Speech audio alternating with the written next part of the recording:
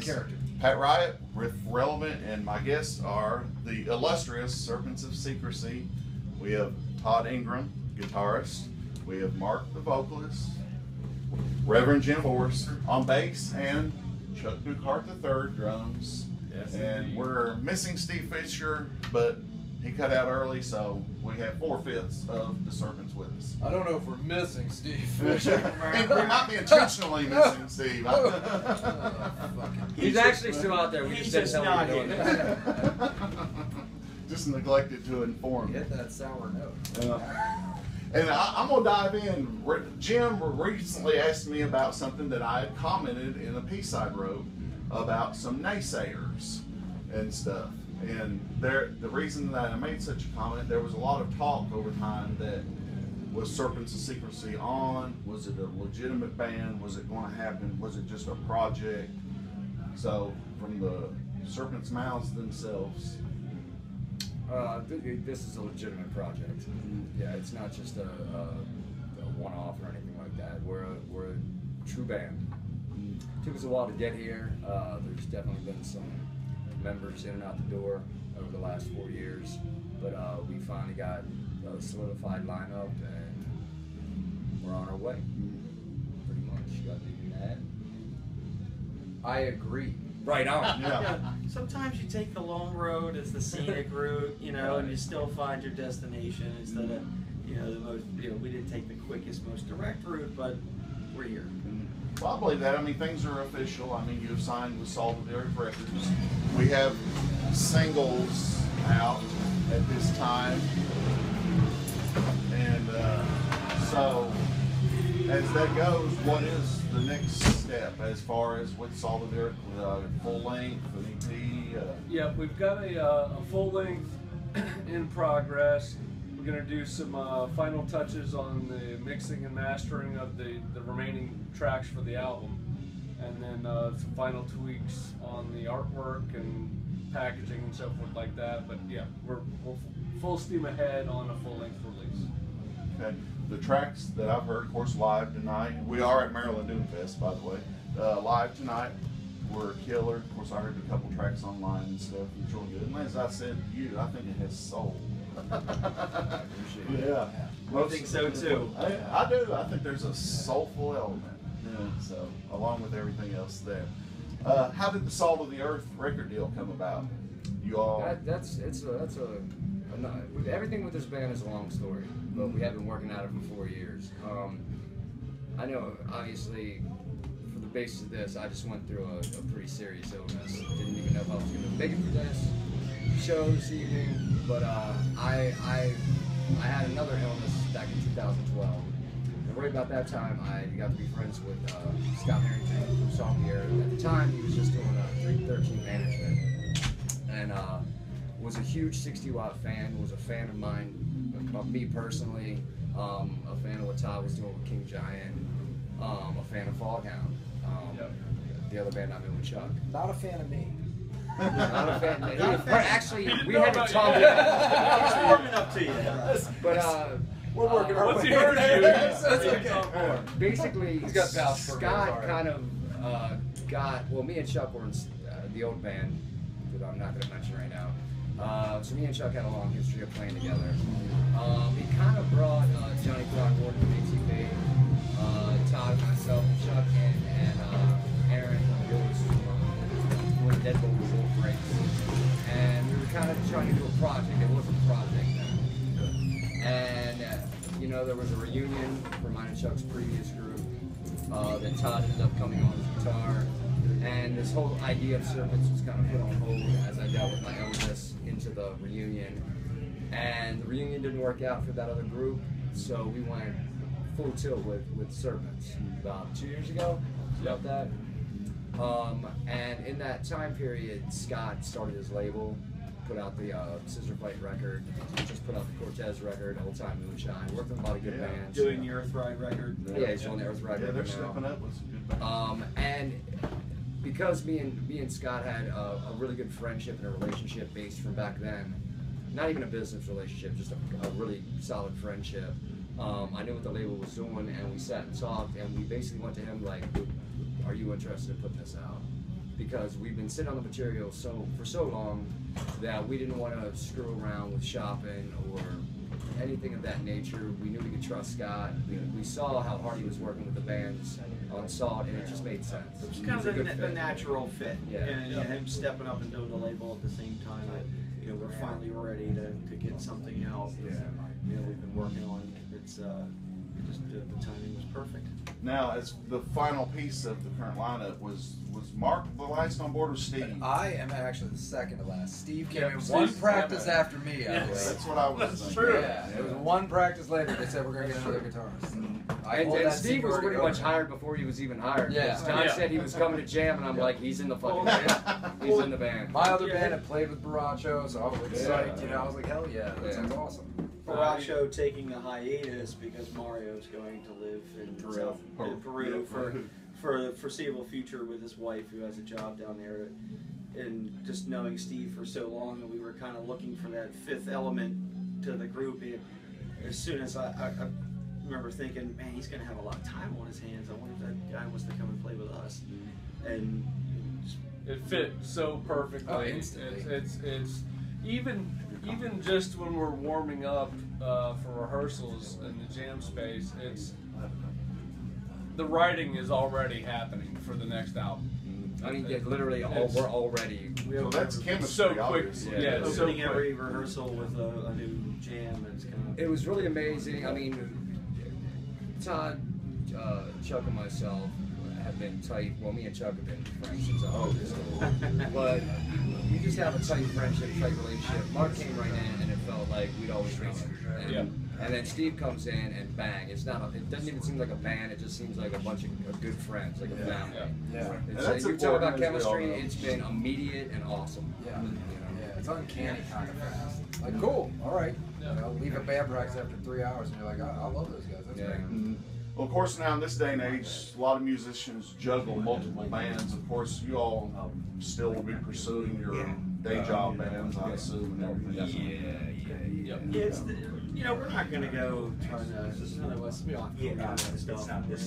Nobody's going and tearing up the, the road in the van or whatever, but, you know, it's kind of, we, we fit it in and it's, it'll take on a life of its own. But, you know, we're not, we're not trying to gig every weekend at the, you know, the local, you know, Guidos or whatever mm-hmm. down the street. We're, we're looking for good opportunities to, to put ourselves out there. Yeah. You know, but, and not not not making random decisions that put us in peril for, for no no good reason. Yeah, you it's know? understandable. And a man can be selective about what he Yeah. plays nowadays. Well, we, we've all been doing this for a very long goddamn time. Yeah. So, Yeah. It's playing it smart. yeah. No doubt. And speaking of the live shows, it was just what in the last few months that you all actually took to the stage the Back in first October. time. Yeah. Yeah. yeah.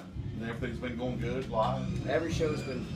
We're having a great time. Yeah. It seems to get a great reception. building on everyone's So, building yeah. on the last and, and I think tonight was definitely a, a, a celebration of sorts and a Yeah. catharsis of Yeah. sorts you know with all of the black clouds that have been hanging over recently it was we didn't it was in doubt whether we were going to be here up till a couple days ago Yeah. yeah we didn't know. know physically able to do it Well, I said the whole time I was playing. Uh, he did.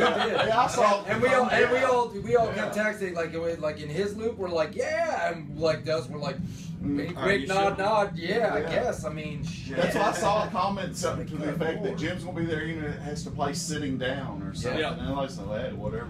Yeah. Whatever it takes. I there said was no way I was fucking saying. this guy. If Jim wanted to play, we were gonna play. Yeah, Exactly. that was what we said. Yeah, if he we're could like, we'll yeah, all wasn't sit ready down. to do it we, we wouldn't have been here Yeah, Well, I'm sure glad it worked out. and it felt great. Yeah. Yes. Yeah. That's the that, that, that's the key is is every show that we have it's just, it's just fucking fun. Yeah. And then we have a great chemistry on stage and we just have a good time. And I think that translates to the crowd. That's something that Yeah. I've always enjoyed. You know, and I mean, we've all been in different kinds of music, and sometimes you're in something more aggro, so you go up with that like just just kind of mean, violent, or whatever it is. And this one, I'm just Even, having a we- even our aggro songs, I mean, we're Yeah, yeah, yeah. We're, laugh, we're laughing while you, we slap you in the face. You know, it's just it's, it's a good time, and I think it instantly you kind of get that that feedback from the crowd. You see them smiling back at you. They they see that if you like each other genuinely, It usually translates. yeah, I think it helps. You're still gotta have decent riffs. Because Yeah, you gotta have the song. Yeah. yeah, yeah, without those, I it's all mean, for it's, naught. not a bad shape. We We, just get we up- were, they we're all charming gentlemen, but I don't think anyone wants to see us up there just smiling at the crowd for now. yeah. I mean, we're pretty good looking. I don't know. I have dropped some weight recently. That's uh, what, what diet are you on? What's that weight cut supplement? With the songwriting process of uh, Serpents of Secrecy, how does that work? Does any uh, somebody come in with a riff, or how does it? I, I, I guess you know for the first batch that's coming out, a lot of that was was Jim and I and Chuck, but uh, as I mentioned before, uh, within the first couple of uh, sessions that we had with Steve in the band, it, we're already we already have five or six rough skeletons of, of new material. for the next record. Yeah, for know. the next There, there's So- never there's never a shortage of us coming up with ideas. Well, like me and Todd write all the time, Well, but so does Steve. Well, so. the, the first batch, I mean, you had a stockpile of riffs Yeah. that weren't necessarily, you know, for fitting the other band, and Yeah. and and Jim and I were jamming independently, and we had like a couple of things, and um, when we all got together, we were like, and then we would end up in writing a new one that day. Yeah. you know, the A- same a lot way. of it. Came, I was uh, I was way out in the mountains, out past Morgantown, and when we started developing this idea, like Chuck said, Todd had things that weren't necessarily a fit for King Giant, Right, group, yeah. but it just it didn't necessarily. I guess would fit be the word, or just it didn't it didn't necessarily gel with what the direction of that group. I guess. And I was just writing. sitting I on a was bunch just of riffs. writing mm-hmm. and Yeah. songs, riffs, putting stuff together. So yeah, once we got in the room, and Chuck is a master orchestrator. So when we bring all this stuff together, it just if, if it wasn't him having half a song and me writing something to fit it, it was the opposite of that. Mm-hmm. Or I had a whole song, or he had a whole song, and we just make it work. Yeah, y'all don't seem to strike me as the type that would struggle to write a song. I mean, we all hit writer's No. block or whatnot. Uh, Our struggle is the fact that we have so much material. Yeah. We it, it's it's getting the studio time, Getting get a it all- rehearsal time, Yeah. right? To have, Yeah, schedule wise, and, and then and then getting the studio time to go in there and track it. Um, I'm pretty confident in saying that we've got at least three albums already. I mean, yeah, we have stuff that we could have recorded for the upcoming album that Yeah. we just shelved because we we're up against the gun, and we were Yeah. we, we just we were got an album. We prime got an time. album's length of songs recorded, and was like, we can keep going, or let's focus on this right now. So we Uh, let's to focus finish on this that. one. You guys also have the situation of kind of shuffling the singers so much. Well, that was a, there was a Yeah. spinal tap of uh, Yeah, yeah. situation with the Vocals. lead singer. Because I was supposed to come in, funny enough, that we're here at Doomfest. If you recall, I was supposed to just come in to do Doomfest because the Last previous year. singer Last, last year, year, yeah. Yeah. because the previous singer was Resigned. well hadn't at the time was kind of unavailable, Yeah. and then it progressed. And it was funny. I had, uh, and my other band had played with King Giant. My Yep. band Zakaya had played with King Giant. So Todd happened to ask knows the guitar player Josh from that. Talked to Josh. Josh pings me. I go sure. I think he sent me your numbers. and I texted you while I was out of town Yeah. working. Never heard back. So I was like, ah, they found somebody. I thought, nah, that guy sucks. And then it was, It so was, it was literally just a miscommunication. Yep. I thought he wasn't interested. He he thought we'd find Yep. somebody. Uh, Josh hit me up like a month and a half later. He was like, "Are you ever gonna hit up this guy Todd?" And I was like, "Dude, I did. I totally wrote to him and I said, thought hey, you I'm guys found each other on the back pages. Yeah, well, you know, plenty of special plenty of part of fish Craigslist. connections. Plenty of fish connections. The misconnections So- on Craigslist. So it was pretty funny. He, he, you know. So then I, I, you know, I was like, oh hell no, you know, I, I, I was real interested. So it was like, okay, we're gonna do these five songs, and I hadn't heard anything that the previous singer, the way he had done. Right. anything. No, we've we've been very uh, disciplined about that. I can Yeah, understand. yeah, we didn't Wow. want that to influence the Well, songwriting. and- and what not- was weird though was the original thing was I was like, let me hear his stuff so I can see if I because I was supposed Yeah, to perform what he was gonna do. So like, yeah. let me know because I was like, I'm totally on board, but let me hear his voice because maybe I'm nowhere near it or it's not gonna. I won't do it justice. I'll be honest if I don't think I'll sound right for it. And then I kind of got radio silence for a short time, Yeah. and I'm like, well, shit. I guess this de- this died again. I guess they found somebody Thanks, else. And then it's like, so would you want to just be in the band? Like, "Oh, Were, were there there it is." lyrics in place when you came on? Or No. No. So Mark, are you He the main had lyricist? blank Yeah. slates. Yeah. He, Yeah, he had he the instrumentation, his work. and that's it. So- So we let him It was- the ball. It otherwise, was it wouldn't have been a awesome. collaboration, and we want to stand behind this being like a true collaboration. Everyone has their their say and their piece of it, you know. We had names for the songs, Working title. and then Yeah. working as working titles and a theme of a lyrical uh, idea, and we And just, they- they we worked kind for of fed you the, the seed, and then they worked for some of them, and then he was able to like build off of that. So And the yeah. cheat Yeah. definitely is Yeah. like a very specific. Jim was talking to me about the, the story behind that and the idea, and then I just got to, but like not a single word. It was just like that's the title. It's the name of a river. It also Here's the concept. Thing. Here's Yeah. kind of the concept, and it was really cool because I got to just sit there and imagine and figure out the way it hits and, and fits. Uh, Well, instead, instead of coming in title. blind, instead of coming in blind, there, there was like an outline of an idea. Yeah. to Right. on. Yeah. Which I haven't delved into the lyrics, but of course, the name of the band itself, uh, I'm not sure. Like I said, I don't know the lyrical content. There's almost like a, almost an implication. On, of course, we're not going to touch on the political side of things, but almost of I get the implication of like a secret society or a little bit That's, of a yeah, yeah. sort And of. it's- There was an of idea of sorts. that, you know, a, a brotherhood. and We were all a brotherhood, and, uh, and we're veterans in the rock and roll world, and it was kind of a. Uh, how did it, you, Oh, you well, Richard you know, Johnny- Johnny Throckmorton, when we originally first all got in the same room, uh, Johnny was uh, the vocalist at the time. Johnny Throckmorton from Alabama Thunder Pussy and the Medusa. and the Medusa. and uh, he had that name kicking around.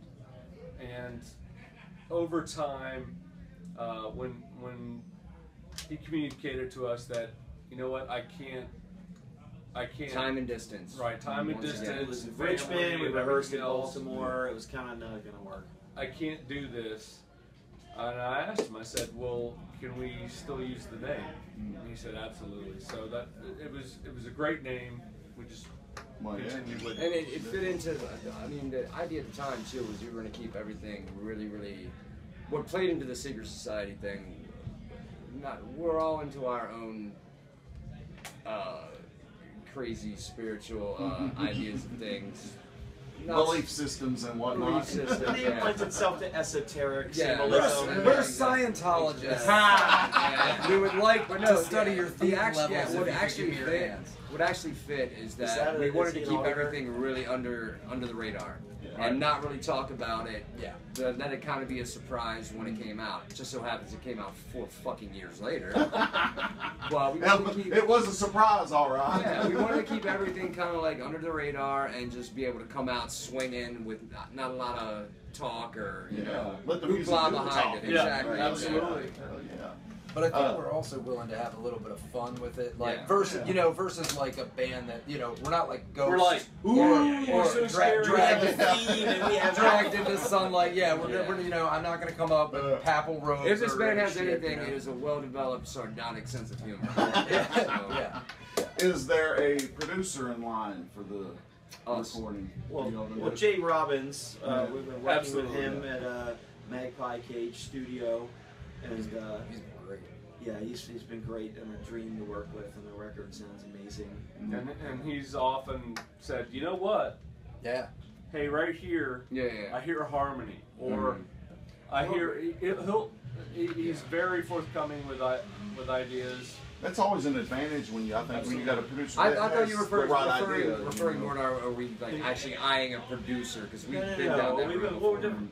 He just, he, it's always great to have a fresh set of experienced Exactly, ears exactly. Yeah. that comes from completely different genres, even. Yep. But True. he appreciates, and you know, he did the clutch, a couple clutch records, and, Mm-hmm. and Wino things, and, and Yeah. wino and stuff, and so he understands. He, he knows heavy music and records heavy music, but it, He's also so chill that it's not like it doesn't sound like He's a guy a trying to joy to jam work his with, foot yeah. in. He's Right. not. That's he's not. everything. He's not Yeah. trying to come across like the sixth member. You know what you guys Yeah. should do? It's more like, Mm. hey, what do you think of I'm this? just hearing the harmony in my He's head. not Bob like, rocking you. He's Yeah, not yeah, And he Rock. also, also really appreciate, just like we were working on some of the figuring out bass tones. I'm not here.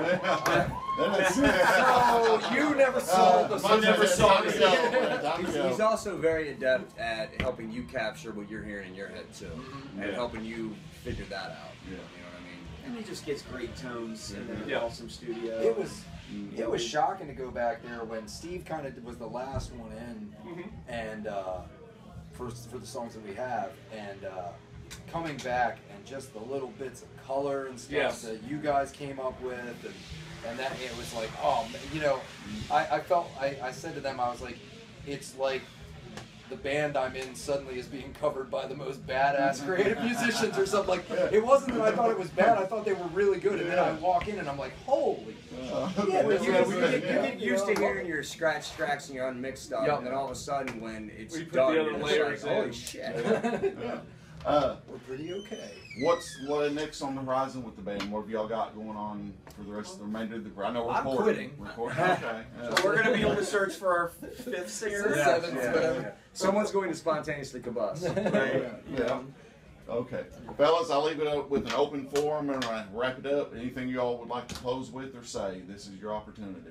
Um, It's great to be here at Doom Festival Yes. once again, sir. Always. Had a Yeah. blast. see you again, man. Thank you, Marcus. Pleasure to meet Great you. to meet you. Todd, as always. That's Hey, uh, people should plan on sticking sticking around. Yes. Yeah. Listen we got a lot- to lot more to Serpents of Secrecy. Yeah, there you go. Serpents of Secrecy. The album's coming on Salt of the Earth Records. My guest, Serpents of Secrecy. Check them out if you get a chance live. I appreciate it. Thank you. uh, Thank you. Thank you.